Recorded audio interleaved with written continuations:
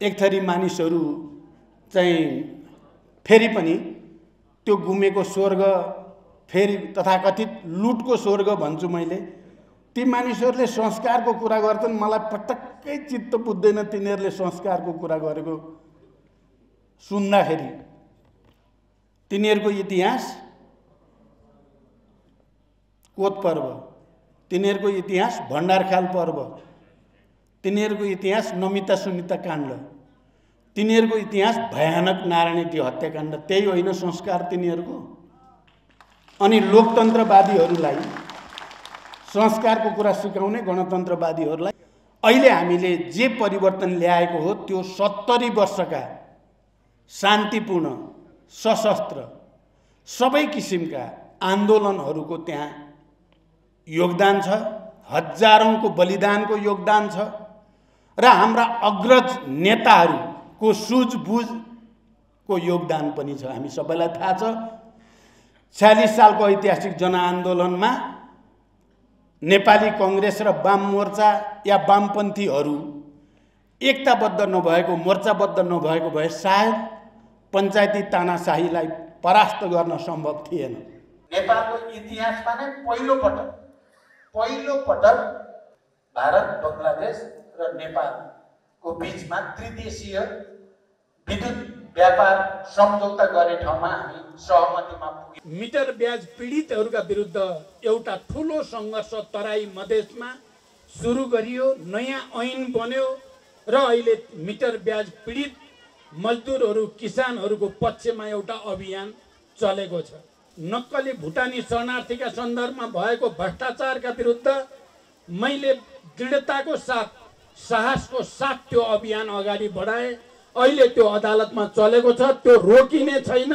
निरन्तर भ्रष्टाचारका विरुद्ध अभियान अगाडि बढिराख्नेछ भूमाफियाका विरुद्ध तस्करका विरुद्ध र अरू भ्रष्टाचारका फाइलहरू खुल्दै जानेछन् त्यसमा तपाईँहरूको साथ सहयोग रहँदासम्म हामी दृढतापूर्वक अगाडि बढ्नेछौँ नेपालको स्वतन्त्रताको पक्षमा नेपालको राष्ट्रिय एकताको पक्षमा चाहे भारतसँगको सम्बन्धको कुरा होस् चाहे चिनसँगको सम्बन्धको कुरा होस् चाहे संयुक्त राष्ट्र सङ्घसँगको सम्बन्धको कुरा होस् हामीले नयाँ सिराबाट चाहे अमेरिकासँगको सम्बन्धको कुरा होस् नेपालको राष्ट्रिय स्वतन्त्रतालाई अगाडि राखेर त्यसको सर्वोत्तम हितलाई अगाडि राखेर हामीले कुटनैतिक सम्बन्धको विकास गरेका छौँ र एउटा नयाँ वातावरण बनेको छ। अहिले देशमा आर्थिक विकासको जो गतिविधि अगाडि आउँदैछ समृद्धिको सामाजिक न्यायको सुशासनको त्यो माओवादीको नेतृत्वमा मात्रै सम्भव हुने कुरा हो। भ्रष्टाचार विरोधी यो अभियान रोकिँदैन निरन्तर अगाडि बढ्छ। म तपाईँलाई यो विश्वास पनि दिलाउन चाहन्छु। र हामीले विकास र समृद्धिको यात्रा सुरु गरेका यो पनि रोकिँदैन नीति कार्यक्रम बनाउने सन्दर्भमा पनि बजेट निर्माणको सन्दर्भमा पनि अर्थतन्त्रमाथि परेको दबाबलाई सामना गर्ने सन्दर्भमा पनि हामीले केही बोल्ड डिसिजन गर्नुपर्ने छ नेपाल श्रीलङ्का हुने बाटोमा छैन। नेपालको समस्याको प्रकृति नेपाली जस्तै छ।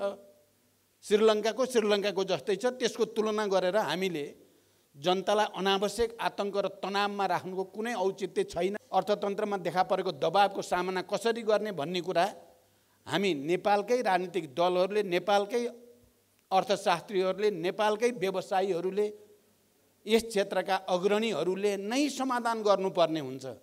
त्यो अरूले गरेर हुने कुरा होइन। संविधानको बाटोबाट नै परिवर्तन सम्भव छ। किनभने हामीले बनाएको यो संविधानमा अपरिवर्तनीय भन्ने राजनीतिक सिस्टमको हिसाबले केही पनि छैन। खालि देशको सार्वभौम सत्ता भौगोलिक अखण्डता राष्ट्रिय स्वाधीनता जस्ता विषयलाई मात्रै अपरिवर्तनीय भनिएको छ। सिङ्गो राजनीतिक सिस्टम परिवर्तन गर्न सकिन्छ भनेको छ। कुनै पनि विषयलाई अपरिवर्तनीय भनेको छैन जसरी हिजो भन्ने गर्थे शासकहरूले पञ्चायतलाई। पञ्चायत अपरिवर्तनीय राजालाई। राजा अपरिवर्तनीय भने जस्तो यसमा कोही पार्टीलाई अपरिवर्तनीय पनि छैन नेतालाई पनि छैन। खालि देश अपरिवर्तनीय छ।